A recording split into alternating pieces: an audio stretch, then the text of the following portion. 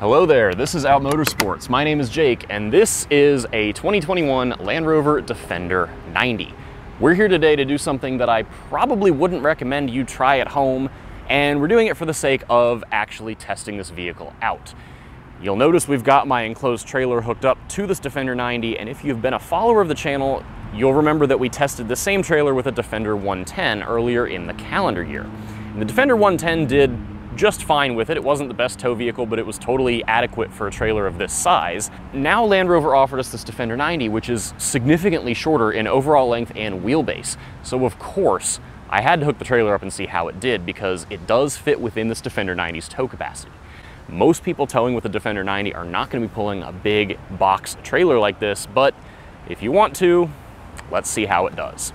So let's talk about what this Defender 90 is and then we'll get it out on the road and see how it behaves pulling this big enclosed trailer. Now, if you haven't already subscribed to us, please take a second and subscribe to the channel. We really appreciate all the support. The more of it we have, the more fun stuff we can do with vehicles like this Defender 90 and sports cars and everything in between. So with that, on to the Defender. Like I said, this is the shorter version of the Defender. The 110 is the four-door. This is the Defender 90, which is the two-door. And like I said, Land Rover chopped a bunch of wheelbase and overall length out of the 110 to get the 90. They lost about 17 inches of wheelbase here, so the overall wheelbase length is 101.9 inches. That is not a lot of wheelbase to pull a trailer this long.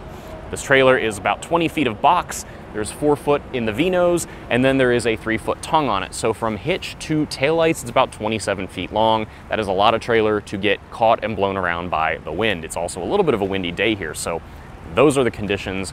Before we get into towing though, let's talk about this Defender 90, what it's rated to tow, how it's powered, and then we'll get on the road. So as far as tow rating is concerned, they offer three different engines in the Land Rover Defender for 2021. They only offered two at launch, now there's a third. So they offer a two liter turbocharged four cylinder that makes a hair under 300 horsepower. They offer the 3 liter inline 6, which is in this particular vehicle. It is turbocharged, has an electric supercharger, and has a 48 volt mild hybrid system on it. It makes 395 horsepower and 406 pound feet of torque. It is absolutely adequate for the Defender 90, if not a little overpowered feeling. Then finally, if you want overpowered to the extreme, Land Rover announced they're also doing a 5 liter V8 in these and that will offer more power and torque. It's north of 500 horsepower. That is, I believe, available starting now-ish or early 2022. This one is the 3 liter, and no matter which engine you have in your Defender, the tow rating is based on the chassis. So this is the Defender 90, this is the shorter one. Every Defender 90 is rated for the same tow capacity, 7,716 pounds with 10% tongue weight, so 770 pounds on the trailer ball. Any Defender 110 is going to be rated for 8,201 pounds, again with about 820 pounds on the ball. They give you about 10% tongue weight, which is pretty nice. You don't often see that in some of these SUVs that are rated to tow. Sometimes they want you down at about 8%, which is not what we tend to do here in the United States. We go for 10 to 12. So regardless, 7,716 pounds, 770 pounds on the ball. And the final piece of this is payload, of course. And payload on the Defender 90 is not a lot. This one's sort of loaded, and they're only giving you 992 pounds of payload. So payload includes all the people inside, all the cargo inside, and your tongue weight if you're towing a trailer. So keep in mind, if you're putting 770 pounds of tongue weight on this thing, you've only got 220 pounds left to put people and things inside. So I hope you don't have any friends or very much to bring with you. Those are your tow ratings, that's your payload. This is the trailer.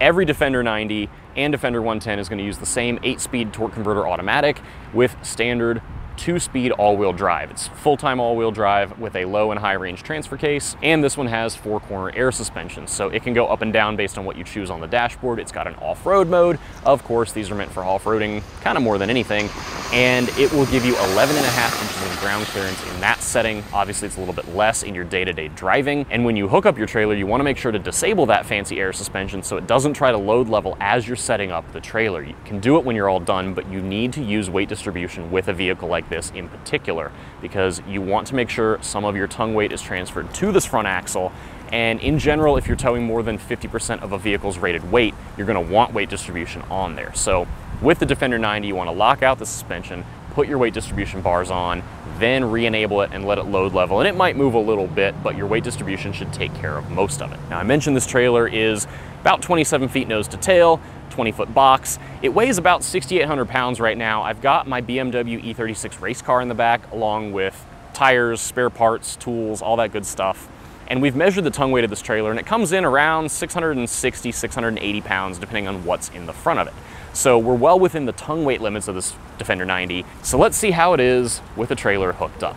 So you'll notice I've got the center seat sitting up right now. It's very tall.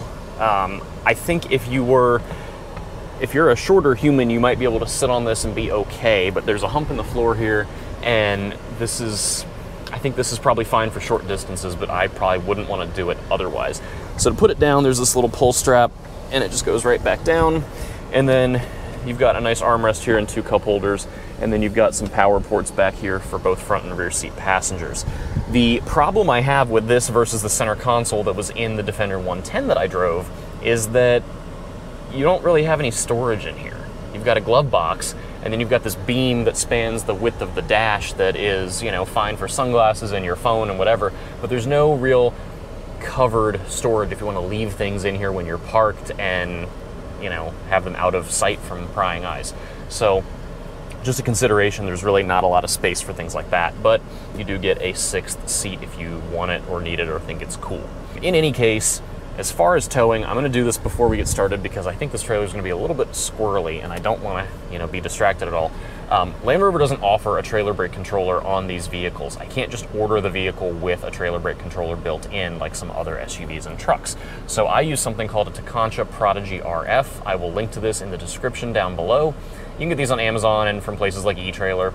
And this goes in line between the Defender 90 and the trailer and intercepts your braking and actuates the trailer brakes. This is the remote control for it, so you can set your boost here and then you can squeeze this button and that will actuate the trailer brakes if you're in an emergency situation.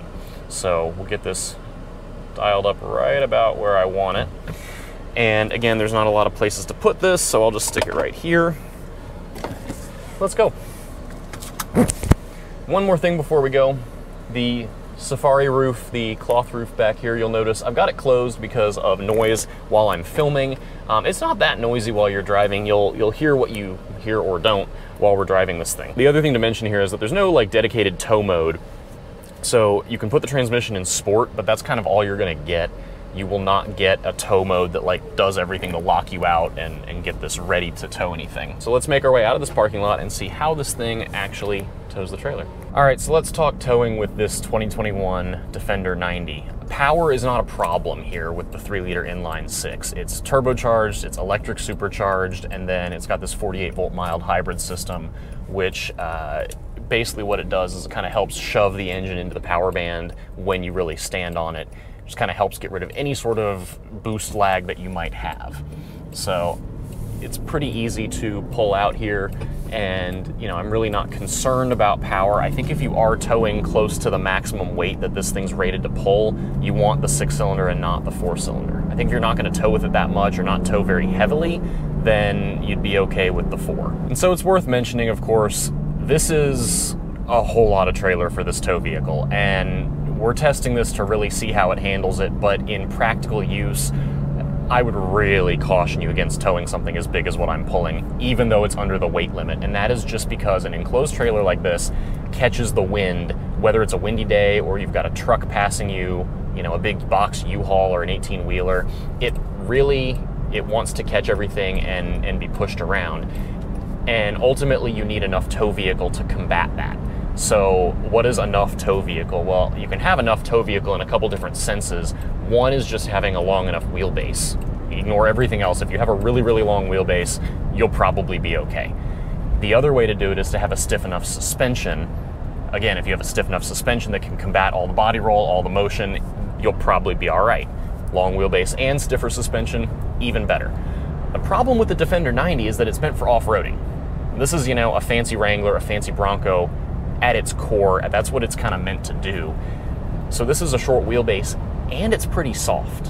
And yes, it's got adaptive suspension and the air suspension and all that good stuff, but it's just, it's soft. You know, we're doing 55 right now and there are no big trucks passing me and this is fine.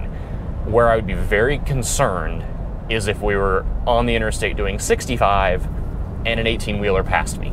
I don't think that would go very well. You know, I know Land Rover's put a lot of engineering into this vehicle, but you, you just can't beat physics in certain cases. So if you're going to pull a trailer that's an enclosed like this, I would be much more comfortable saying do a Defender 110 because you get another 17 inches of wheelbase, and I think that's just the smarter move if you're going to be pulling a trailer like this. If you're going to be pulling an open trailer, like a flat U-Haul trailer that you put your car on, fine, get a 90.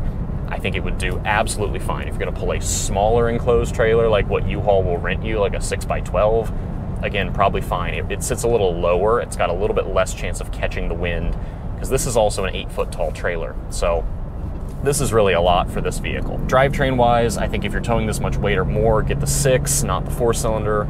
Obviously, if you want the V8, then fine, you don't need it, but you've got it. Having the boost here helps a lot. Um, really, you know, it doesn't have to work super duper hard to get you moving and up to the speed limit. And then as far as braking and steering are concerned, both very good, you know, especially with having the trailer brakes working. I've got trailer brakes on both axles, so, you know, nothing really to worry about there. The final piece I want to mention, of course, is just how this thing is to drive without a trailer hooked up, because that's what most people are going to do. They're either going to drive it and off-road with it, or drive it and tow a little bit, or drive it and do neither of those things and just have a cool car to drive around on the street. This is pretty good. It's a little noisier than you, might get otherwise having this fabric roof, just because it's fabric and not a full hardtop or uh, a glass sunroof, but you've got your options there for your roof choice. It's not absurdly loud by any means, so just worth, you know, considering. But I like the fabric roof. I think it's very cool. Um, as far as comparing it to other vehicles, you know, in its segment, the question is what is in its segment? This is basically a really nice Wrangler or Bronco competitor. Obviously, you can't take the doors off, you can't fold the windshield down. Those are both body on frame. This is unibody, but they're all meant to go off road and do pretty well at it from the factory. Where the Defender 90 excels is at street manners compared to a Wrangler. I would say compared to a Bronco, but I've driven a Bronco for about 20 minutes so far. The Bronco is ahead of the Wrangler by a bit. This is ahead of both of those. It is far more refined, far tighter everywhere. You know, your steering and your handling are much tighter than either of those based on the suspension design and the fact that it's a unibody. And you know, it's a really nice vehicle for the sake of on-road driving more than off-road driving. I think you really want to consider how much you're going to do each of those two things and see which way you end up swayed. A lot of people may not think that a Defender, you know, it's a Land Rover, it's expensive, it's a luxury brand, sure, but this starts at 47 grand. You can build a Wrangler or a Bronco well past $47,000 and past the 66 or so thousand dollars that this one I'm driving actually costs. Is it expensive? Yes. Is it expensive compared to the competition? Eh, not necessarily. Um, where I think the Wrangler and the Bronco edge this out is on personality. This is this is cool. It is technically good. It is built to do all these things really well. The Wrangler in particular has so much more personality but that comes at the expense of the on-road manners. The other thing I will mention, obviously if you're shopping a Defender 90, you probably really want this body style. The four-door is epically more practical. It is it is much better for the sake of putting people in the back. It's a little little tight to get back there. Once you're back there, there's enough space. And uh, the, pr- the problem is that on the Defender 90, there's this big metal beam that runs across the floor. So even when you have the back seats folded, you don't have a flat load floor to put anything. That's kind of an odd thing. It's probably for chassis structure, you know, stability, tightness, whatever, but really kind of a bummer. Uh, the 110 does not have that. Overall, this is a fine tow vehicle. I think it is absolutely good enough if you're going to be doing an open flatbed trailer. If you've got a trailer that is an enclosed like this, I would just really hesitate to recommend it. I would much prefer seeing a Defender 110 towing a trailer like mine instead of a Defender 90. It's doing it, it's fine, but like I said, this is a you know only very lightly windy day, and I've got no one really around me that can create a bunch of wind wake, and I'm not going 65, 70 miles an hour. So, for the sake of everyone's safety, we're not going to go on the interstate and do that because I really think it would be sketchy at best.